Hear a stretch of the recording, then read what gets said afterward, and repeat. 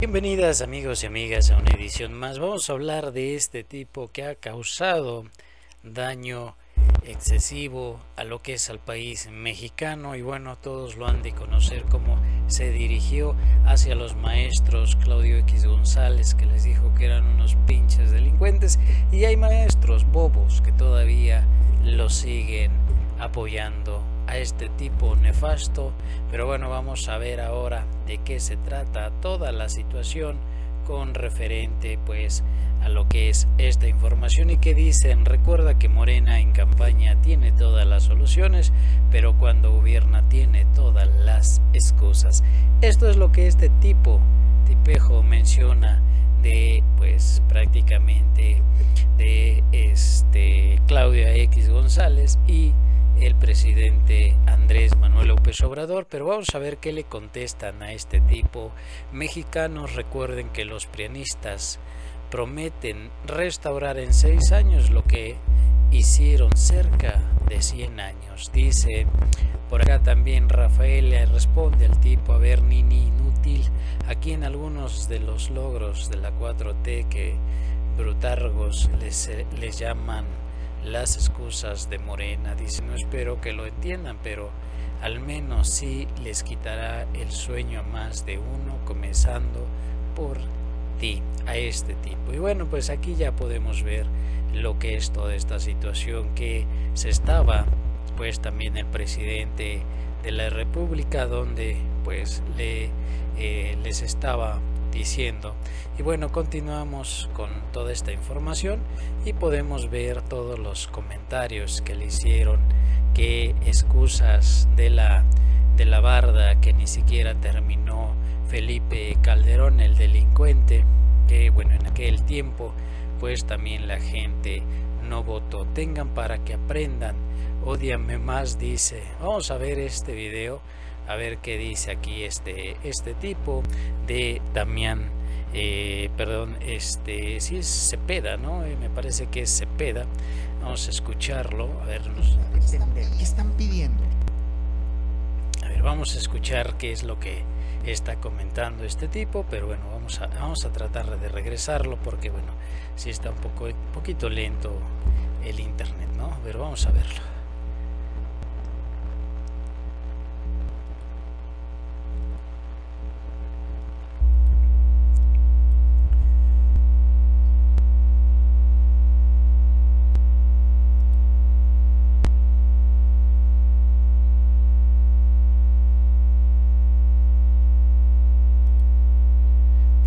No, no, nos permite escuchar el audio, está un poco lento también el sistema, pero bueno, vamos a continuar nuevamente nosotros con la información y bueno, vámonos ahora que son, estos son los, eh, los preanistas o estos son la oposición pedorra, como dicen las películas, hay cada estúpido que nada más se para y dice, viva la libertad y toda la gente pues le creen.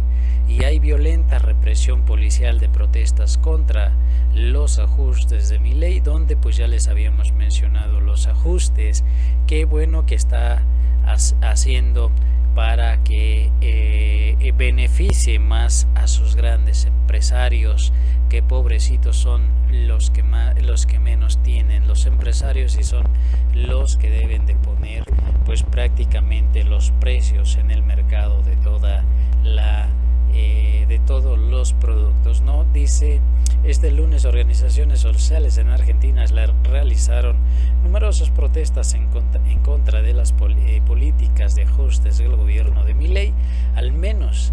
Tres personas resultaron heridas en enfrentamientos de la policía que utilizó eh, gas lacrimógeno y camiones con cañones de agua para reprimir a, a los participantes. El llamado eh, piquetazo nacional. Los manifestantes realizaron 500 cortes de rutas y marchas en pues prácticamente en el país, así como el cierre de los, ah, de, los accesos viales de la ciudad autónoma de Buenos Aires, Cava.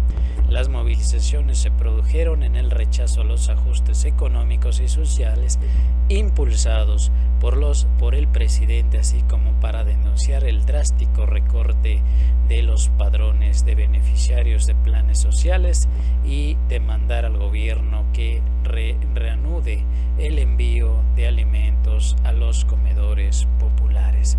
Con personal de infantería y camiones hidrantes de un intento por despojar de los eh, pues a los eh, ciudadanos y bueno vamos a ver si nos permite reproducir el video porque bueno está un poco les comento está un poco lento no nos está permitiendo tampoco eh, pues esperamos que dice y bueno aquí también pues prácticamente no nos está permitiendo.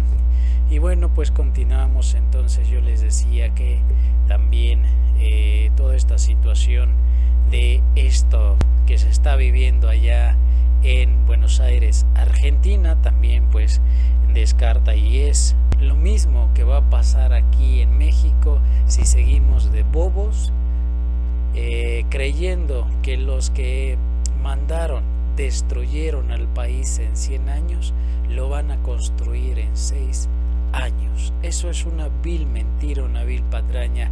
Y bueno, Xochitl Galvez ya no sabemos también qué es lo que quiera decir la, la persona porque tiene, híjoles, que, que este, bueno, y aquí vemos también como en las imágenes podemos ver cómo eh, eh, los policías pues por medio de gases lacrimógenos pues están dispersando a la multitud y por medio también pues de camiones no agresión también hacia la prensa.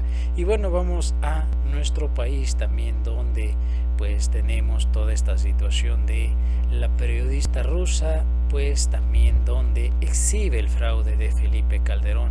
Como o cómo vendió las riquezas de México a los extranjeros y cómo Aznar le arregló su eh, exilio en España. Por favor, comparte, dice por acá la Catrina Obradorista.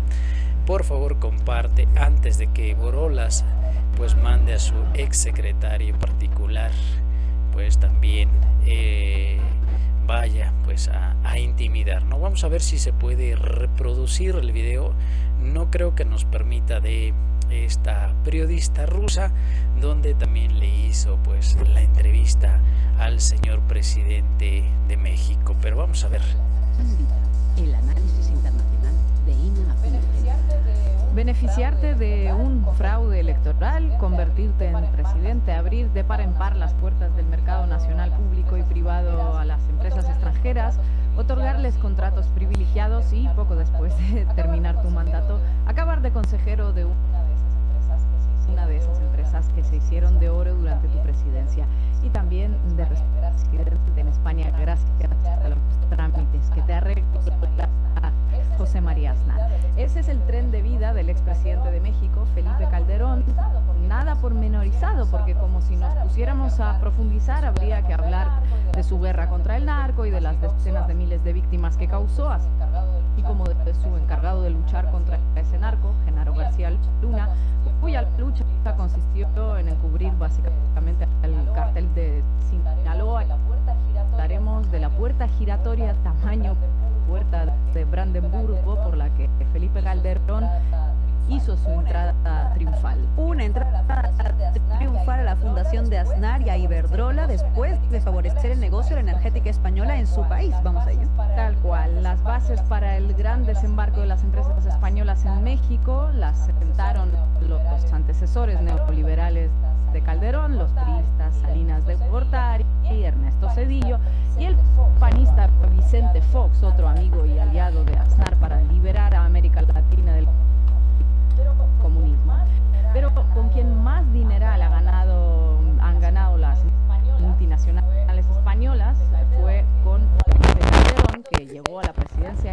2006 tras imponerse sobre AMLO en un proceso electoral con múltiples denuncias de irregularidades.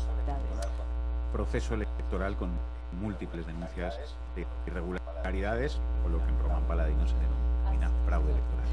Así es. Durante su mandato, el gran empresariado español gozó de un trato de privilegio inédito. Recuerda el periódico mexicano La Jornada que Calderón fue el impulsor de un programa denominado Pro México que consistía en organizar encuentros entre empresarios extranjeros y el poder político mexicano y que en la práctica funcionaba como un gran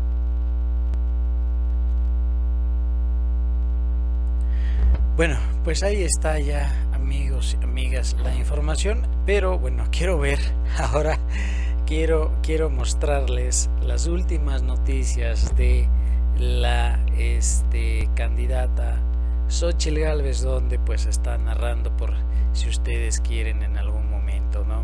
Este. ¿Una avioneta con espejo?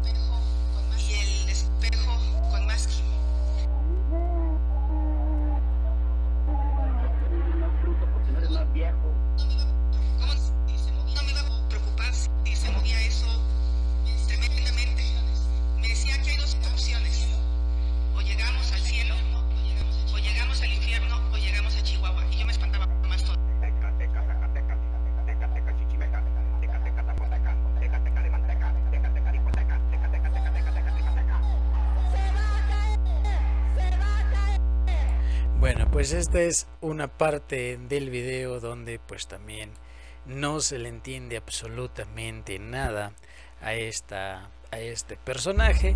Y bueno pues como sabemos pues también nosotros pues tenemos que ver la información no también tenemos que estar al pendiente de toda esta situación. No da una. Quizás se refería a carreras STEM, pero nunca lo sabremos. necesita apostarle a carreteras, a carreras STEM, a carreteras innovación. Eh. Bueno, pues esto es que no da absolutamente una su candidata de la oposición. Pues amigos y amigas, hemos llegado a la recta final de este video. Yo les agradezco infinitamente por su apoyo, por su participación. Muchas gracias y que pasen una excelente noche.